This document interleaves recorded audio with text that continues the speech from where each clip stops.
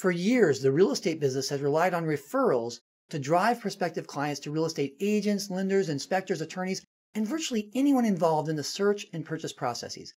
With social media, agents and other players have the ability to expand their reach and connect with a greater number of prospects.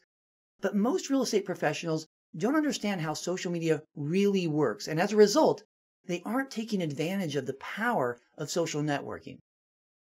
Many tend to focus their efforts on their own geographic markets where they've become self proclaimed specialists on parts of town, types of properties, or certain target markets, and there's nothing wrong with this.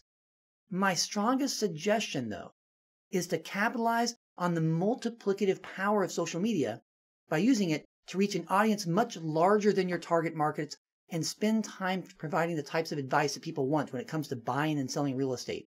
By being seen as a national or international expert on matters that are important to their audiences, real estate professionals will gain a number of benefits as their perceived expertise grows, and their larger out of area audiences will signal to their more targeted audiences that they really are the experts they've been claiming to be.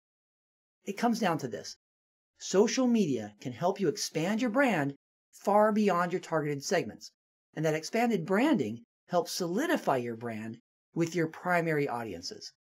I'm Anthony Miyazaki, and this has been the Marketing Minute. Be sure to subscribe so that you don't miss any of the future Marketing Minute videos.